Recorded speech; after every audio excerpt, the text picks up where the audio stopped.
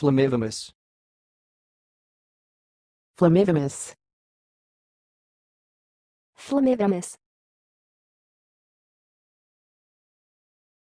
Thanks for watching. Please subscribe to our videos on YouTube.